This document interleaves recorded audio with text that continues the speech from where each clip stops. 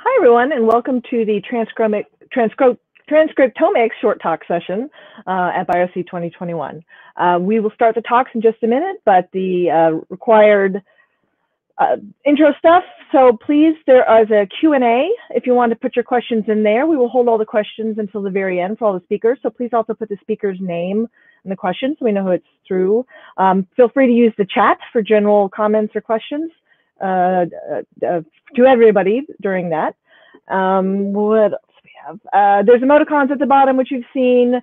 Please use these judiciously. They're they are great. They're wonderful for feedback. Some people do find them a little annoying if they get too much, but I do like them overall. Um, and if for some reason, if you have to leave early, the video of the session will be available. It says a couple hours, but they've actually been coming up online quite fast after the session is complete. Okay, so I will move on to introducing our first speaker, who's Wei Shi from the Olivia Newton-John Cancer Research Institute in Melbourne, Australia. Um, it is 5 a.m. there, so he is not with us. He hopes to join us by the end of the session to answer some questions. And he'll be talking about uh, Rsubread mapping quantification of RNA-seq data.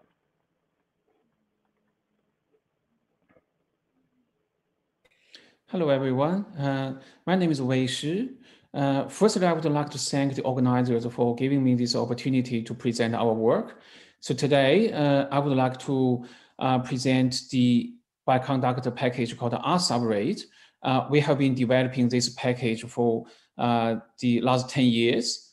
Uh, and before I talk about the functions in this package, I would like to not, acknowledge Yang Liao and Gordon Smyth for their contribution to this project. So particularly Yang, um, he has been the uh, main software engineer uh, for this project, uh, and he has uh, implemented almost all the functions uh, in this package.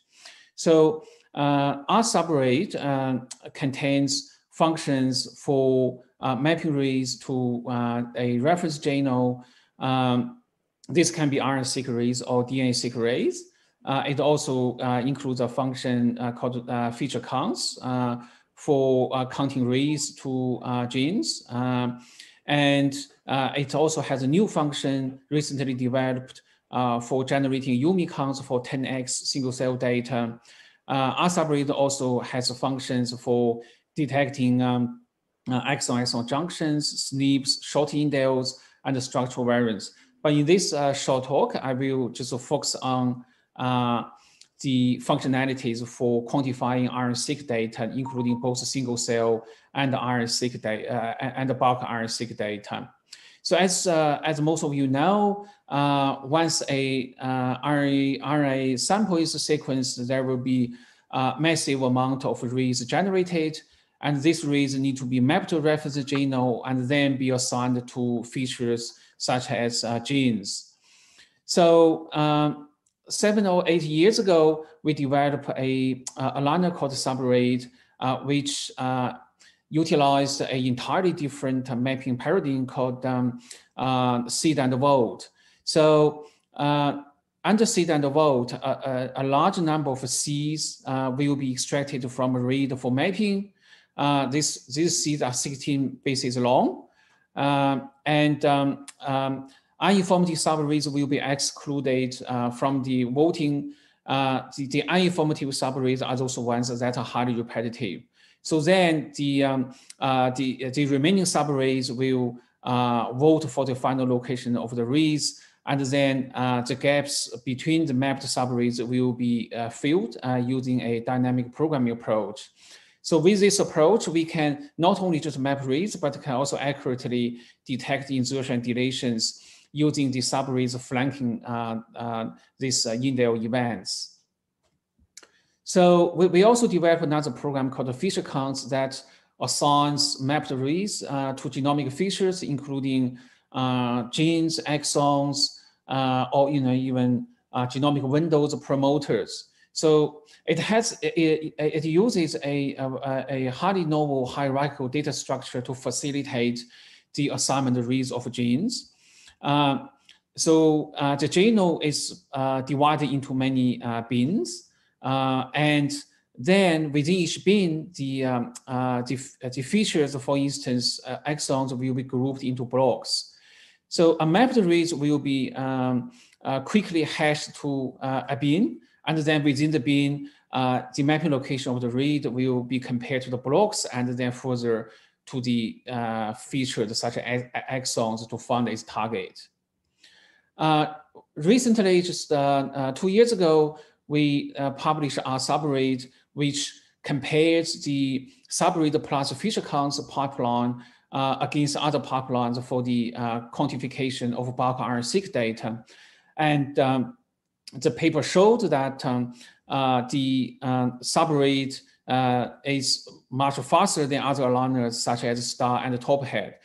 Uh, so the align F and align G here, they both separate aligners just with different configuration. So full uh, F means a full index, um, so which use more memory. Uh, G uh, means gap index, which use less memory, but it's uh, the, the, the both are, are faster than the other aligners. So with uh, 30 million reads, you can uh, finish the mapping just in around three minutes. So the feature count counting is uh, is uh, is also found um, to be much faster than the others. Um, uh, you know, such as the summarize overlaps function in the um, uh, genomics features package and also the HT-seq count program. And uh, you know, with uh, 30 million reads, you it, it only takes less than a minute to complete the counting. Uh, so, and we also show that um, uh, our workflow, the RSubread workflow is also more accurate uh, than the other workflows. So here's the, the, universal human reference sample and also human brain reference sample. So there's um, uh, around 1,000 genes that were validated by RT-PCR for both samples. So we just use these genes to assess the accuracy of uh, each workflow. We also use the simulation data to uh, to, to, to, uh, to assess the, uh, the accuracy. So here it shows a Pearson correlation between, between computed uh, expression levels with the known truths. So furthermore, so in RSubread, we also uh, have a function called subjunc, which can not only uh, fully the reads, but also can detect the junctions and um, um, uh, and fully mapped junction reads. So base so end-to-end -end alignment. So particularly for the mapping of junction continuing read, so its uh, overall performance um, uh, is considerably better than the other approach. So finally, I just take the last few minutes to talk about the cell counts program, which is uh, uh, a, a, a, recent uh, development in RSubread, and it's really exciting uh, new function we, we have developed to us. So um, it's um, so with this you, with this function you can you can easily uh, quantify uh, the, the the 10x single cell data. You know you, you just you just invoke uh, one function call and you will get the the, the UMI um, uh, matches table for, for, for a entire single 10x experiment. So what it does is, uh, is uh, it takes um, BCL or FASTQ uh, uh, data as input. Uh, and so you don't need to convert BCL to FASTQ yourself. So cell counts will do that for you. So, and then sub, cell counts will map reads to the reference genome using subread aligner. Uh, and then it will assign reads to genes using feature counts. And um, uh, after the assignment, it will collapse reads uh, mapped to the same location uh, to, to. Um, after that, it will use a bootstrapping approach uh, to, uh, to call cells so to determine a UMI threshold to call valid cells. it also has a cell rescuing procedure, so you know which allow those uh, uh, cells that have a, a total UMI count lower than threshold, but found to not uh, to, to be not from the ambient RNAs, and those cells will be rescued. And then the function will return a, a UMI count uh, table, uh, and you can use it for further analysis. Uh, so we have done some preliminary analysis um, to compare with the cell ranger, and the um, uh, preliminary results are very encouraging. So we used a, uh, a melanoma uh, data set with a, from a patient. Uh, so this is a published data set. Um, and uh, it has around 550 million reads. And it on, it uh, um, it only uses one third of the uh, the, uh, the, the running time used by Cell Ranger, so it's much faster. Um, so it take it take actually around an hour to complete the the, quanti- the, entire quantification. Um, so we, we also create the simulation data to um, uh, compare cell counts against the cell ranger. Uh, so, um, uh, so here we sh it shows that um, if you look at the the correlation of the generated UMI counts for genes, um, against the, uh, the, the known UMI counts uh, uh, in the generated truth, cell counts um, have a slightly higher accuracy than cell ranger, but this evaluation is certainly ongoing.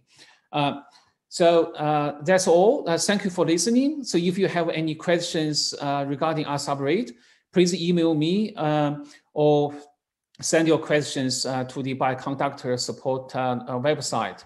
Thank you very much.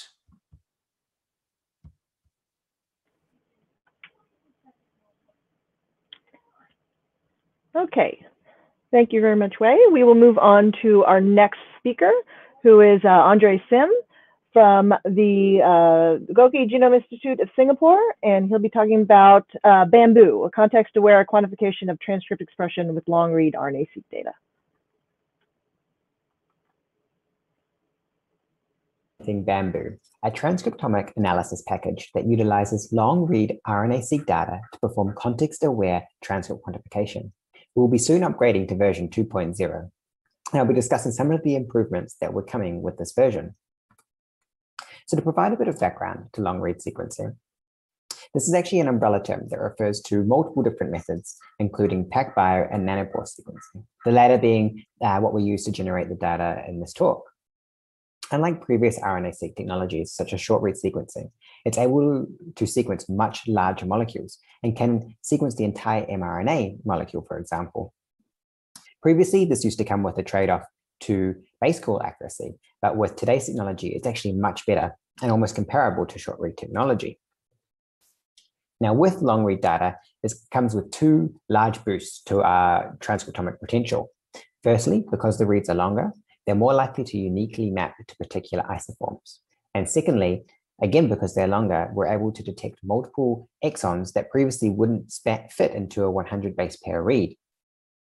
In the example I've got on the screen here, I'm showing reference annotations at a particular loci at the top in blue. Uh, and then below that, I've got long read data that aligns to this particular part of the genome. Uh, and what you can see is that this particular gene and all the reference annotations uh, includes a particular exon. However, in the long read data, there are a few examples of reads that do not have this exon, so this exon's been skipped. And this is a perfect example of a read that can be detected with long, only be detected with long read data. And in short read data, reads derived from this particular transcript might have actually been divvied up uh, and provided and counted as belonging to other isoforms.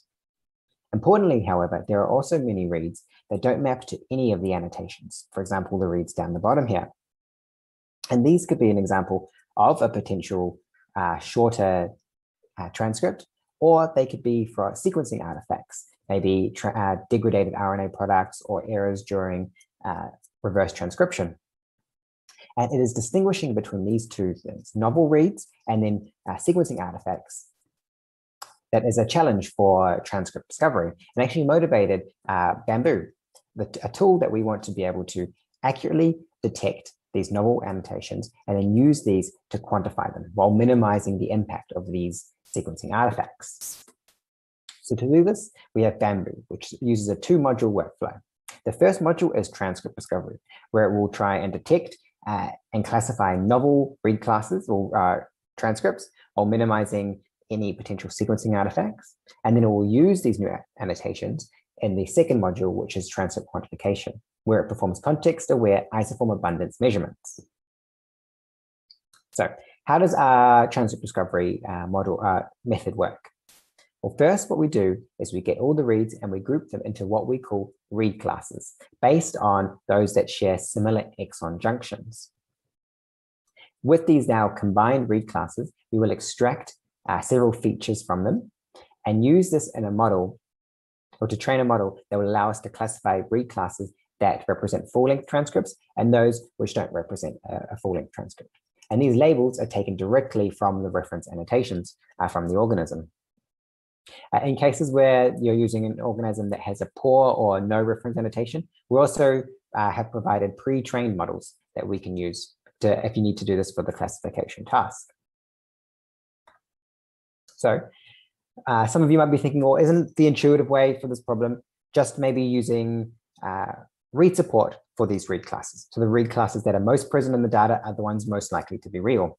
Well, to see if our model uh, app competes that, we tested this on spike-in data. Now, spike-in data is very useful because we have the ground truth. We know exactly which read classes should be present and which shouldn't be.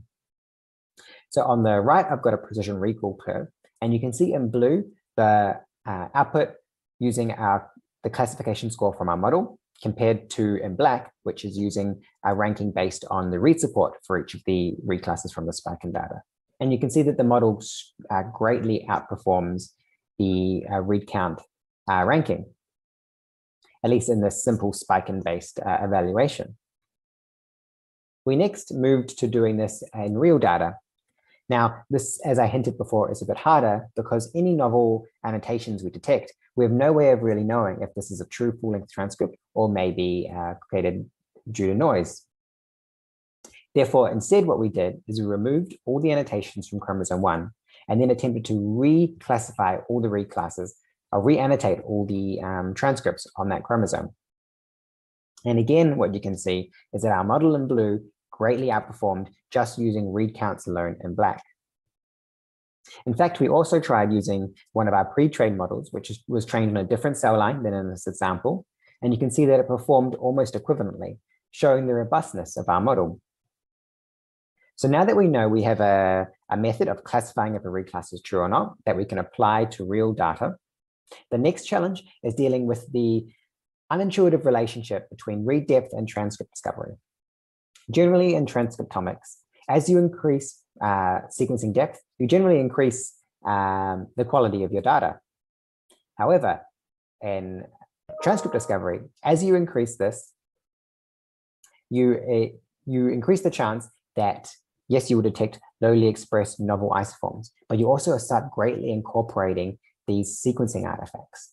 And this is uh, highlighted in two examples with StringTie2 and TALON, where each dot here represents a sample across the x-axis, which represents different sequencing depths. That as the sequencing depth increased, so does the precision, uh, the precision decrease. So the number of accurate read classes of the proportion is decreasing. What we do with Bambu is we calibrate the output based on the reference annotations to a user-defined novel discovery rate. So in this example, the user has given a novel discovery rate of 50%. Meaning that the uh, precision is calibrated along this line. And you can see that it, is uh, it has uh, stabilized regardless of the sequencing depth. And we believe this creates a very intuitive relationship between input parameter and the output result. If you only want, for example, 10% uh, novel, um, novel genes or novel transcripts, that is approximately what you would get in your output. Uh, whereas if you were to use a read count threshold, for example, increasing it from two to eight, yes, you know your sensitivity will go down and your precision will go up, but you don't really know by how much it would. Next, we evaluated Bambu against three other tools, FLAIR, StringTie2, and TALON. And we did this uh, evaluation by sampling 50% of the transcripts on chromosome 1 and seeing how many it could reclassify uh, from those that were left over. And what you can see is that um, across almost the entire range of tested threshold values, Bambu outperformed in sensitivity and in precision. And it was able to cover a much broader range of the possible precision values of this data. So overall, we see that uh, Bambu is a very good uh, tool for doing transcript discovery using long read data. Finally, now that we know that we have a good transcript discovery pipeline, does this actually lead to benefits in transcript quantification? So here we're comparing Bambu and string StringTie2. And what we did is we looked at the spike-in data. So we're just looking at the two top plots at the moment. And we removed uh, isoforms from each of the different uh, spike-in genes. So in the plots, the isoforms that remained in the annotations, so those that were not removed were in blue, and those that were in green were removed and then attempted to be reclassified using either Bambu or string StringTie2. And then all of them were also quantified using the specific tools. And you can see that uh, the points in Bambu fell mainly on the diagonal, meaning that the expected uh, concentration matched with the estimated concentration more with Bambu than it did in StringTie2. We repeated this using real data, and again, you see the strong correlation falling on the diagonal with Bambu regardless of, of, of if the gene remained as it was, um, if it remained annotated or if we removed the annotation and it needed to be um, re-annotated. So overall, we're, we're, uh, we're showing Bambu, a long-read transcriptomic analysis tool that does two things. It's able to dynamically uh, perform transcript discovery and performs context-aware isoform level quantification. Uh, we believe it's a very helpful tool and very user-friendly, uh, and if this excites you, we have a preprint uh, coming soon, as well as Bambu 2.0, which is hopefully be released in a couple of months. Also, if you're really excited by it and you want to try use it right away, Bambu 1.0 is available now uh, at Bioconductor and GitHub. So of course, I'd like to thank my lab, the Goeke Lab, uh, run by Dr. Jonathan Goeke, as well as Chen Ying, another postdoc in the group, uh, who has worked very hard on Bambu and the second module of quantification. Thank you, thank you very much.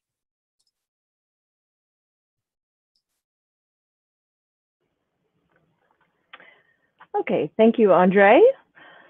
Next up, we have uh, Shilin Zhao, and he will be speaking. He's from Vanderbilt University Medical Center, and he'll be talking about RNA-seq sample size, real database sample size estimation for RNA-seq with complex design.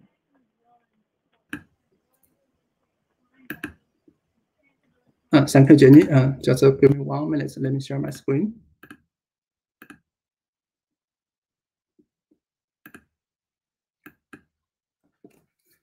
Um, so everybody can see my screen, right? Uh, good afternoon. So um, today I'm going to uh, introduce my uh, bioconductor R package, which is called RNA-seq sample size. It is designed for real data-based sample size estimation for RNA-seq projects. Uh, here's the outline. Uh, I will give a short introduction uh, about the uh, sample size issue in RNA-seq RNA-seq project and also talk about the challenges in real database sample size estimation. And then I will use dataset from uh, recount2 and uh, Expre Expression Atlas projects as a reference data and show, show you how to determine the parameters and how to use the parameters to in the workflow of RNA-seq sample size for the sample size estimation. Um, here is the introduction. So uh, the the project, the, the project goal for an RNA-seq project is usually to identify the differential genes. So um, the null hypothesis is usually the the gene is from the same the distribution with the same mean values in two groups. The alternative hypothesis is usually the gene is from the distribution with different mean values in the in that two groups. So that's easy to say that with more samples, we are more powerful and more easy to determine uh, which hypothesis we want to take, right? So the more samples is more is better. But in real life, um, so there's a lot of issues, limitations. So this is a sample size and the power is usually a trade-off. For example, we may have limited budget or limited time, or the number of, available samples is limited. So we need to know uh, with uh, desired power. Let's say we want to get 80% of power. How many samples we want to we need to have? Or our budget is only support us with 10 samples in each group. So how many powers we have to identify differential genes in this design? So we need to consider a few factors like library size, which determines the average rate for each gene, and FDR, which which determines how how confident we are about our results, and the number of differential genes we expected in our design something like that. And we want to use these parameters to get a and some size. Um, we have um, done a few works on this topic since 2013. So at the beginning, we use like a Poisson distribution to estimate the sample size in RNA-seq project. And then we use a electro binomial and use exact test and to, to, to estimate the sample size. And we, we call this method a single gene method. And uh, until 2018, uh, we developed the real data real data based method for the sample size design, sample size estimation, and we think which is much better than the single gene method. So here's why. Um, so uh, the left side figure is uh, examples from TCGA data. Um, in one TCGA data, uh, you may have like uh, 20,000 genes. The distribution of their average read count, like the, the bottom figure, and their distrib their dispersion, which means their variance across the across the samples, is highly different with each other. For example, their read count, some genes may only have one or two count, and some genes may have like thousands or tens of thousands count. Well, um, in single gene method, we can only take one parameter, say read count 10, dispersion 1, something like that, to estimate sample size. But in the real data set, the genes have different dispersion and different read count, which makes their sample size estimation result very different. Here, the example in the middle. So uh, with like the high um, dispersion, like dispersion three, and the small read, small read count, read count one or two, you may need like 20, like 200 genes to get your sample, get your 80% power. Or if you have the dispersion is small and the count is not, you only need like 20 or 30 genes to get your 80% power. So the single gene, in single gene method, we usually have to choose the most conservative method, which is a large dispersion and a small uh, and a small read count. So we will need like thousands of hundreds of samples to get 80% power. But in real data-based method, we use the distribution from the, this real data, for example, this TCGA data, and we will only need a few 200 or 300 samples to get the same power. So this method is much better. However, there is also a lot of challenges in real data-based method. So the most challenge is, uh, and the most the most frequent question I was I was asked by the by other people is, I don't have a preliminary results. I don't have preliminary data because this is something new. This is a new question, especially disease samples, right? For example, we compare uh, uh, coronavirus, coronavirus infection sample versus uh, normal lung, but usually we, we have normal lung, but usually we don't have the, you know, uh, the disease lung, lung tissue. Or the second issue is even if we you have real data, so how do we select the parameters? For example, the library size, the total number of your reads, or the number of expression or differential genes in your dataset, or the desired fold change you want to choose. Here is the example. So if we choose fold change 1.5 or fold change 2 use TCGA data, the number of estimate, estimate sample size is very different. So how do we um, deal with these issues?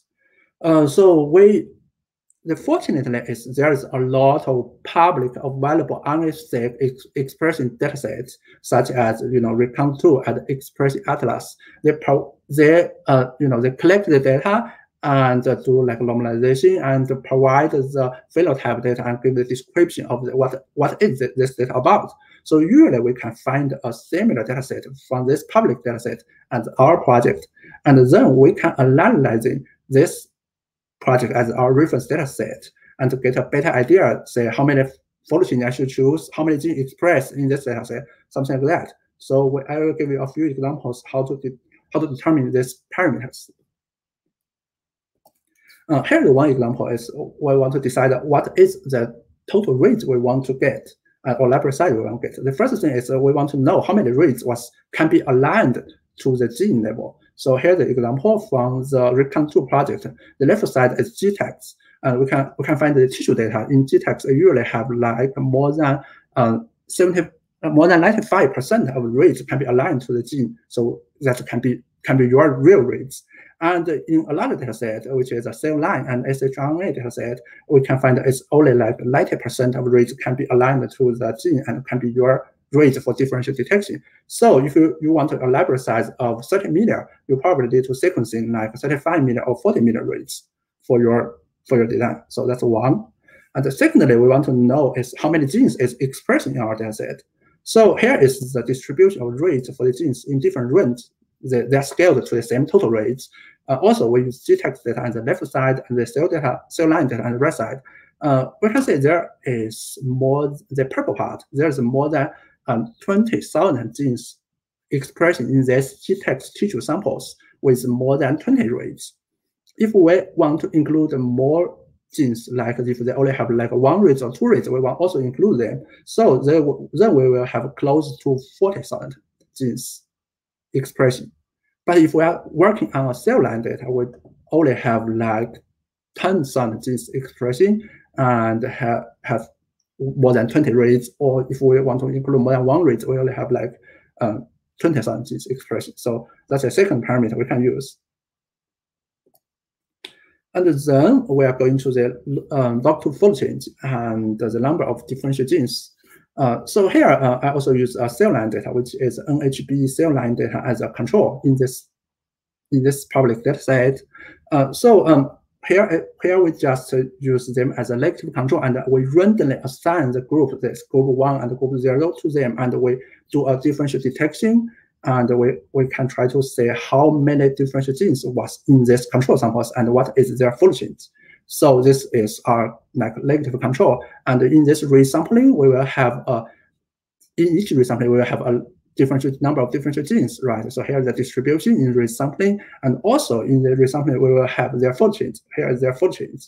So here we can get two things. One is the number of differential genes in the control samples is very small. Most of them are zero right? So which is good. So if this is a big number like 20 or 100, so that's a red flag. It means the sample size is too small. You will have a lot of noise or a lot of like, uh, you know, lot of uh, different genes, but in fact they are not different. They are relative.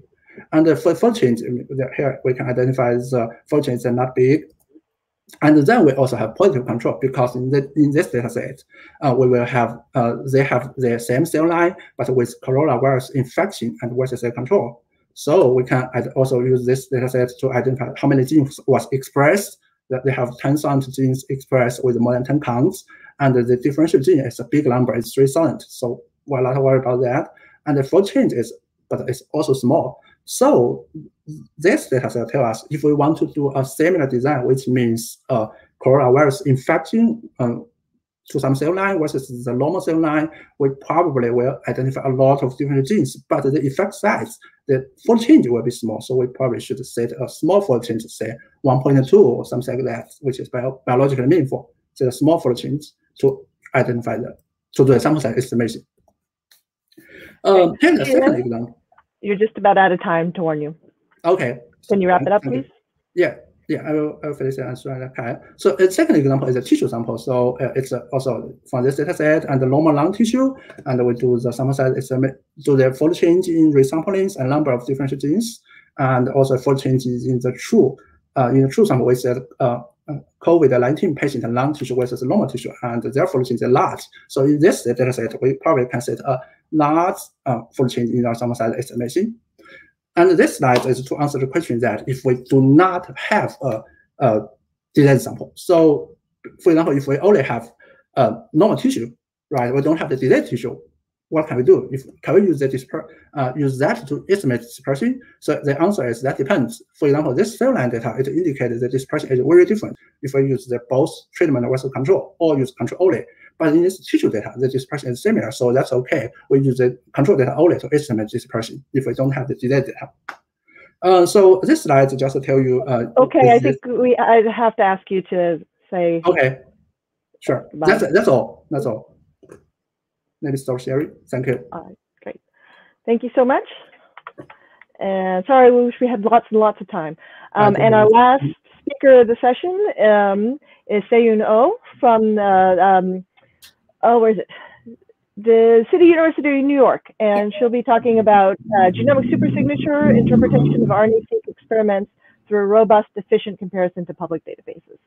Okay, uh, Jenny, can you see my uh, can you see my slide? Yes, we can see. Oh, okay, so I, I cannot see. So, okay, so uh, let's see. Okay, thanks for the opportunity to share my work. So today I'm introducing my new package, Genomic Super Signature, developed for transfer learning and efficient database search. So we were motivated to develop this tool because too often large existing database is not used to understand the newly generated gene expression data. There have been attempts to use the existing database, but some are limited because they tend to be like hard to use or require heavy computing. Like for example, users should train their own model or work only on a specific type of data. For example, like only applicable for immune cells and mice cells, etc. So different, uh, different from those existing tools, Genomic Supersignature provides the pre-trained model and the R packages to apply the model on a new data set.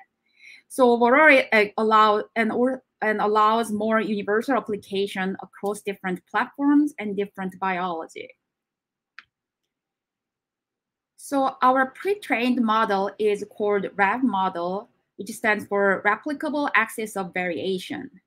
This diagram summarizes the RAV model building process on the top panel and its application on new data using the genomic supersignature package. So current version of RAV model is trained on about 45,000 samples from 536 different studies.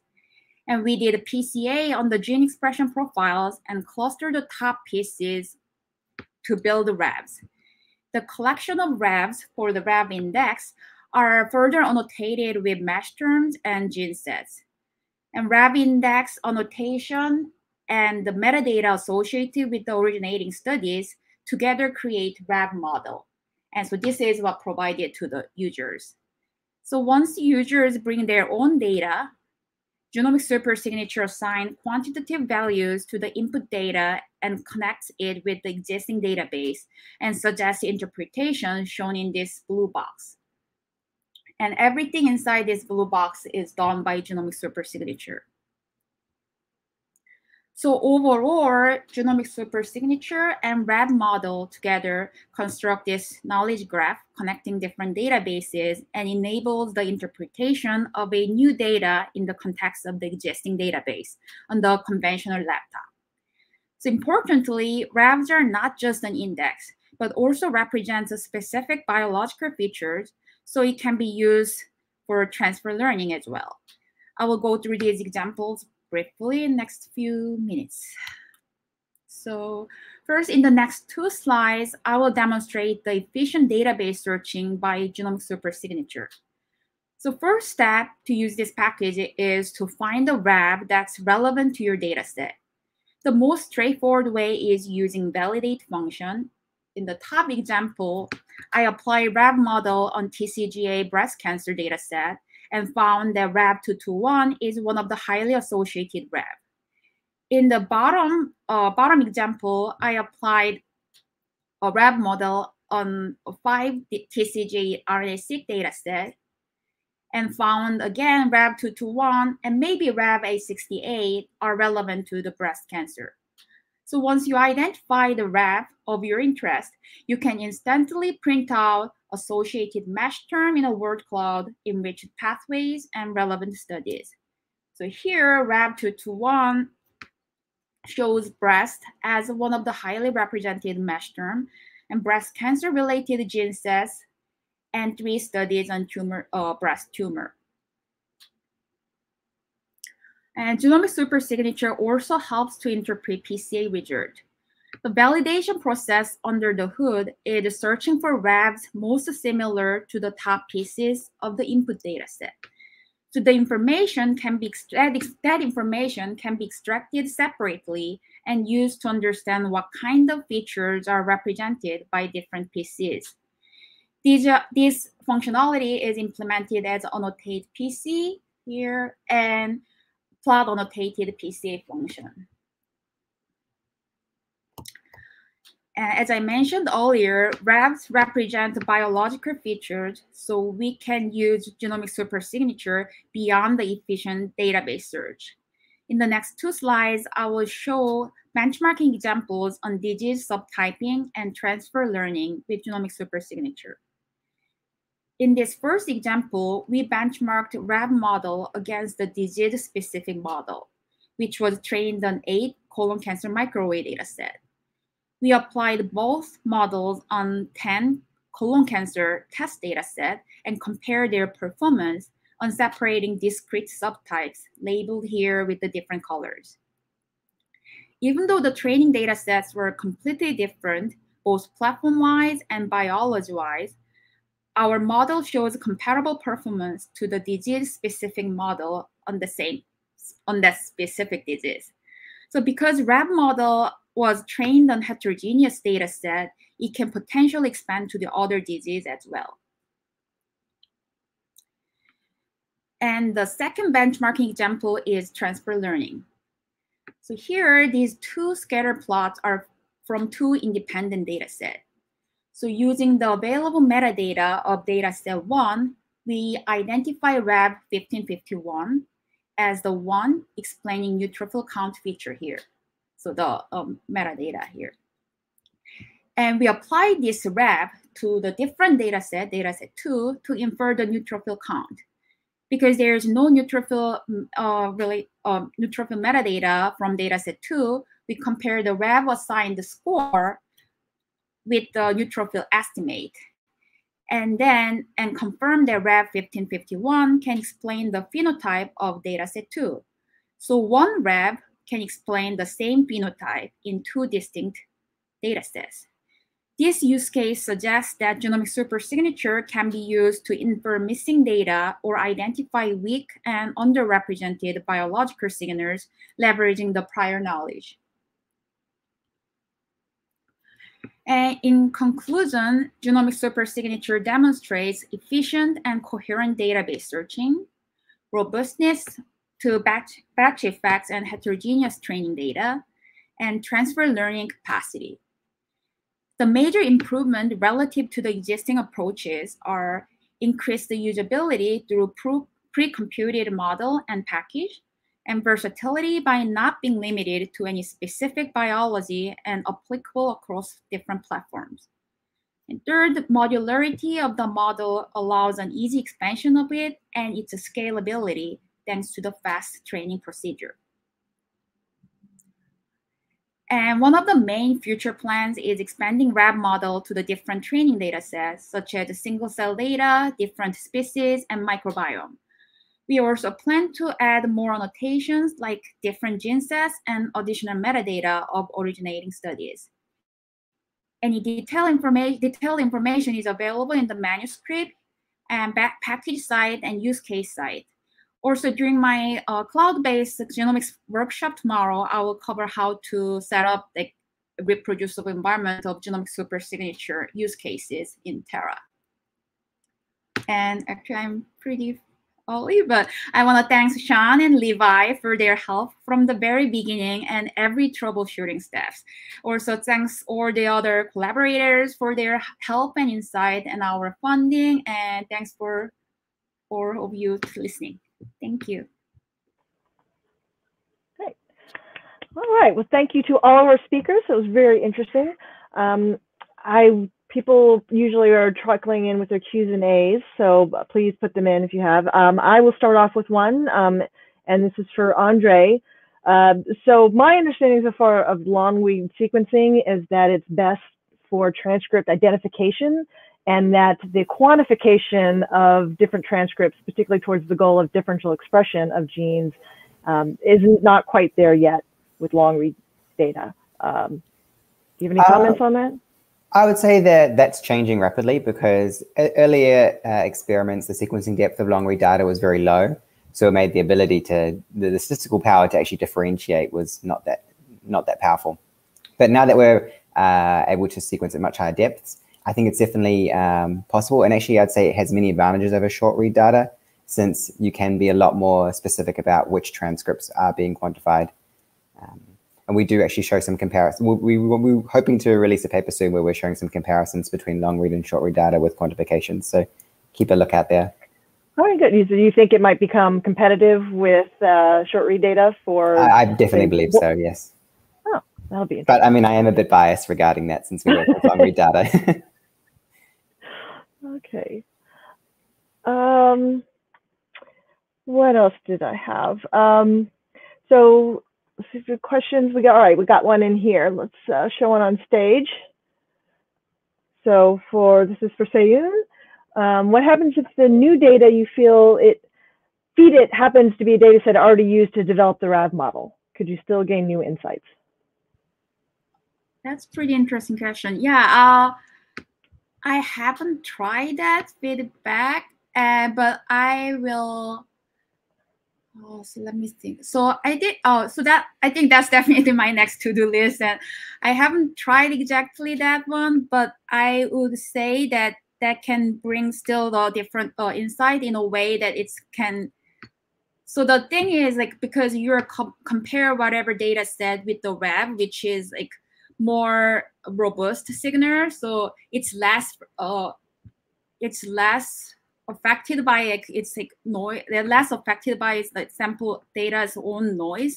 So that in that way, I think you can uh, find more reliable interpretation, and then the connection, like uh, connection to the existing database part, database part is definitely still useful. And I think transfer learning part is also you're using the specific web to talk, uh, see the uh, talk of uh, interpret the data set. So that should work fine. And uh, because the model pre, uh, during the model uh, building process, uh, the PCs are like clustered, similar PCs are clustered, and then the and then it's averaged to make the RAV itself.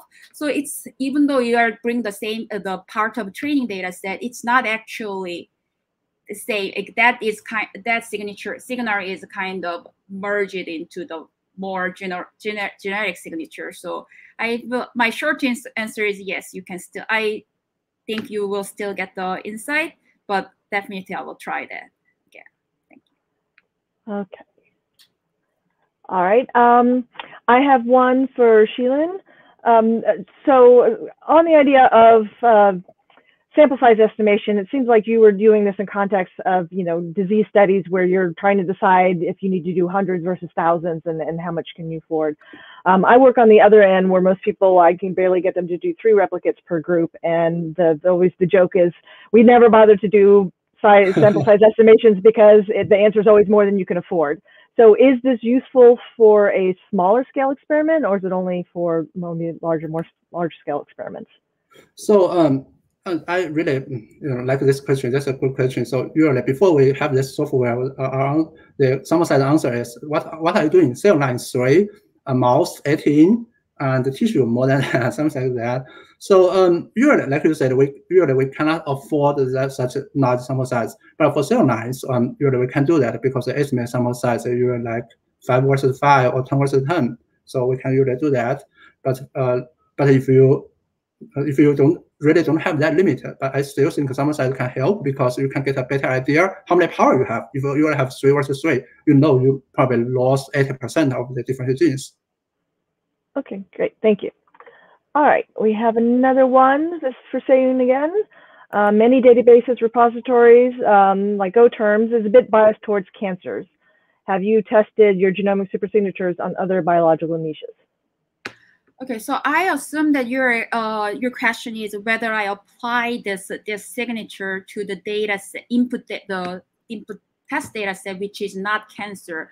I will say uh, haven't done a lot like but uh, actually one of the, the one of the benchmarking is not a cancer data set that's the actually actually just like non-cancerous blood data set and we still get the extract the uh, meaningful data uh, meaningful information so i think it's pretty much uh it's not really cancer limited at this point. and then the training data set is also I think it's a little bit biased to cancer. I cannot really think of it's not really on uh, I can't remember exactly, but I uh, I have the data set like how much of the my training data data set is cancer or not, and it wasn't fully cancer. And then when I try to the different uh, input data set, like different biology, I see the uh, still meaningful information from that. Uh, from other things. And then where will the RAV model continuously be relearned as time goes? Oh, definitely. So that's uh so relearn this like sounds like it should like machine learning is learn by itself. But I will that uh the my plan is like maintaining as in a part of my future plan I mentioned that I want to expand RAV model. So right now it's a human uh, RNA-seq data set. I tested with a little bit of mini test and the microarray data set is fine, like working the same this uh, using my model building structure works in on the micro data microarray data set. So I definitely want to change training data set. So as I mentioned, like different species, microbiome, etc.